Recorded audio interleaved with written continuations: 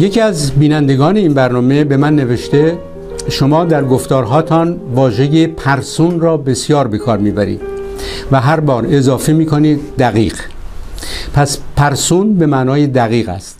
ولی این واژه از کجا آمده و چرا آن را به جای دقیق به کار می‌برید؟ در گذشته درباره خواستگاه و ریشه شناسی واژه پرسون سخن گفتم. در اینجا در پاسخ به این بیننده دوباره به آن می‌پردازم.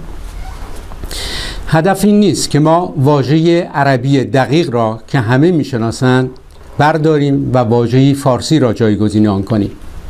مسئله ژرفتر و بنیادیتر از این هاست.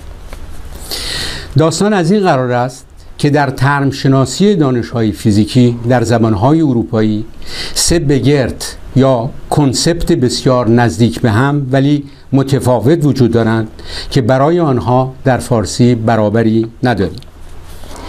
این سه بگرد عبارتند از precision یا صفت آن precise دوم accuracy صفت آن accurate و سومی exactness exact که درباره هر یک از آنها توضیح خواهم داد. ما در ترم شناسی یا زبان علمی فارسی باید برای هر یک از این سه واژه برابر روشن و نامبهمی داشته باشیم. حالان که همکنون هر سه بگرد را دقت دقیق ترجمه می کنم از اینها گذشته نکته مهم این است که اینها از بگردهای بنیادین دانشهای فیزیکی هستند و ما باید برایشان برابر فارسی داشته باشیم. وگرنه در ساختن مشتقهای آنها دچار مسئله خواهیم شد. ما نباید در بیان بگردهای بنیادین اندیشه چه در دانشها چه در فلسفه دست به دامن زبانهای دیگر شویم. نه زبانهای اروپایی نه عربی. ما هنوز از زیر بار سلطه فلج کننده عربی قد راست نکرده ایم از این گذشته عربی نمی‌تواند به ما کمکی کند چون خود آن همکنون مسئله های بسیار برای بیان دانش های نوین دارد. به احتمال دشواری های عربی برای بیان دانش های نوین در مقایسه با فارسی بیشتر و بزرگترند. بنابراین منطقی نیست که ما همچنان وابسته بمانیم به عربی که در تولید دانشهای نوین و فلسفه سهمی ندارد. ما یا برای این ترمهای علمی برابر فارسی می‌سازیم یا همانها را از زبان انگلیسی می‌گیریم. ولی این راه حل دوم کار نادرستی است. نباید یک بار دیگر همان اشتباهی را که با عربی کردیم و تیشه به ریشه فارسی زدیم این بار با انگلیسی کنیم.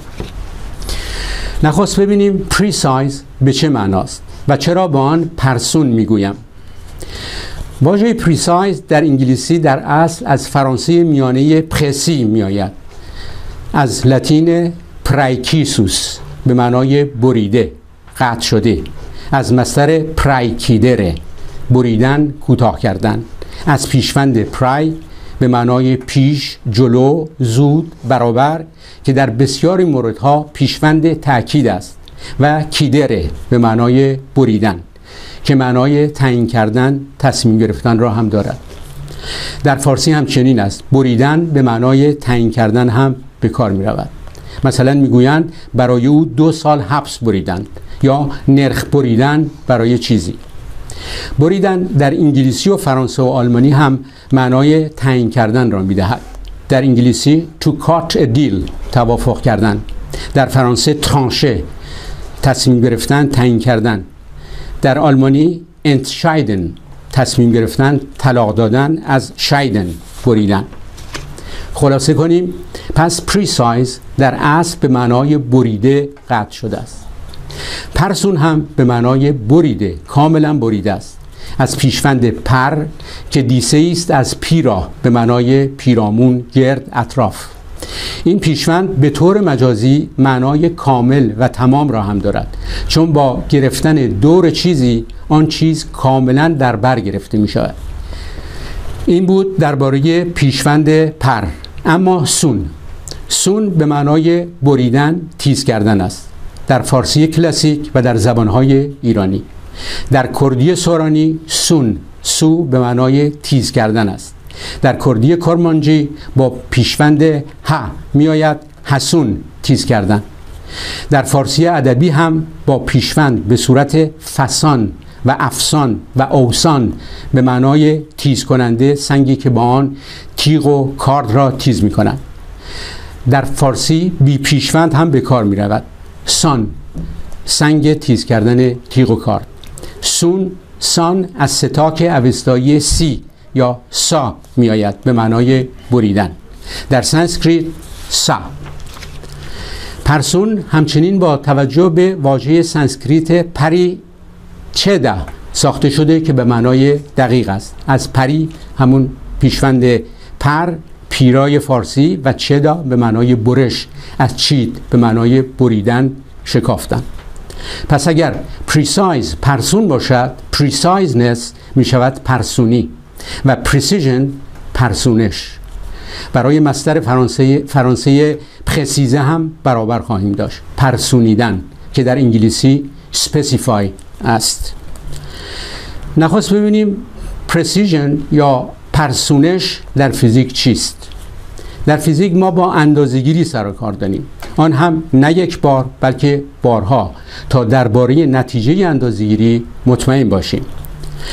پرسونش رابطه میان این اندازهگیری های گوناگون است که در شرایط یکسانی انجام می شوند پرسونش عبارت است از میزان همانندی این اندازهگیری ها اگر عددی که هر بار به دست می آوریم تفاوت چندانی با نتیجه اندازگیری های دیگر نداشته باشد اندازگیری پرسون precise نامیده می شود اندازگیری می تواند پرسون باشد ولی از واقعیت به دور.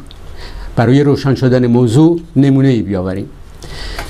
فرض کنید که کسی چل سال داشته باشد و در جمعی که سن او را نمی‌دانند از پنج نفر بپرسند بنابر حدس آنان او چند سال دارد؟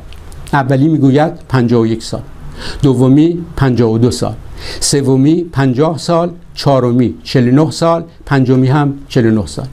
می‌بینیم که این برآوردها بسیار به هم نزدیکند. چنین رشته اندازگیری ها را پرسون مینامیم. ولی میانگین آنها از واقعیت که 40 سال باشد دور است. چیزی که با واقعیت سر کار دارد اکیورسی است. اکیورسی نشان می‌دهد که تا چه حد نتیجه های برآورد به اندازه واقعی کمیت نزدیکند. باید دانست که اکیورسی برای همگان انگلیسی زبان همان معنای پرسیژن را می‌دهد. یعنی بیشتر مردم در زبان روزانه آنها را مترادف هم به کار می‌برند. ولی در ترم شناسی پرسون دانشی آنها دو معنای گوناگون دارند. در همین مثال برآورده سن گفتیم که آن شخص چهل سال دارد. اگر کسانی که سن او را حدس می‌زنند بگویند چهل و یک، چهل و دو، سی و نو، چهل و سی و نو سال می‌بینیم که این برآوردها بسیار به واقعیت نزدیکند.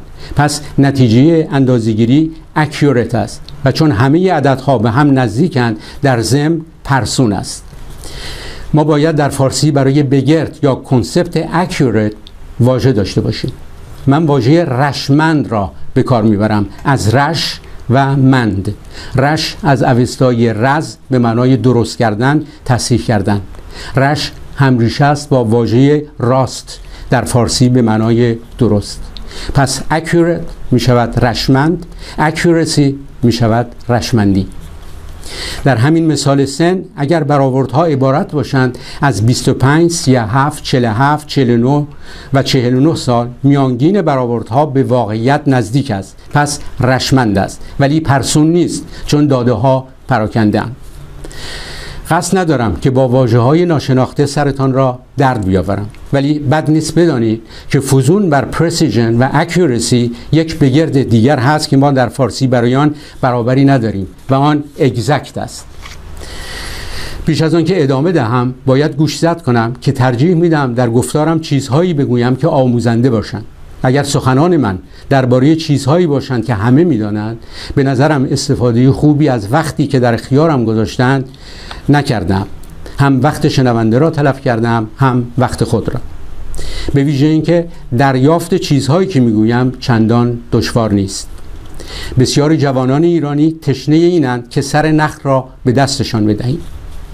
به بگرت اگزکت برگردیم که در چند مورد به کار می رود برای نمونه در exact number exact number را نباید با integer number عدد صحیح اشتباه کرد که چیز دیگری است.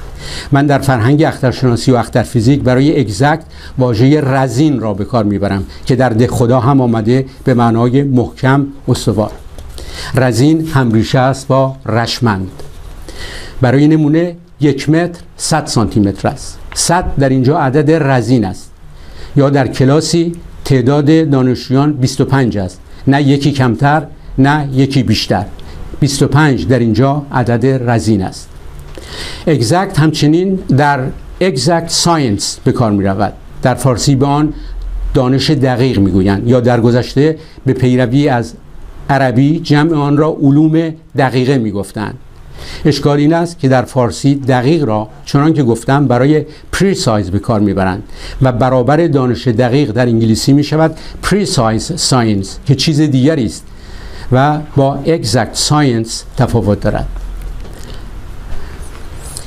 من به exact science دانش رزین می‌گویم.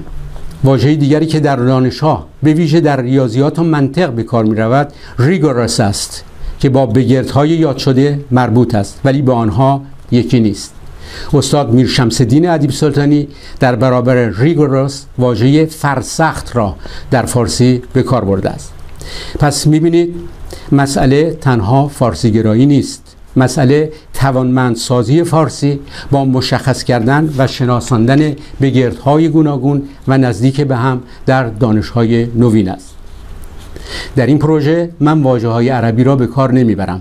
زیرا این واژه ها می توانند با خود معناهای سنتی گمراه کننده و مبهمی, و مبهمی را یدک بکشند و در کار پرسونش اشکال ایجاد کنند.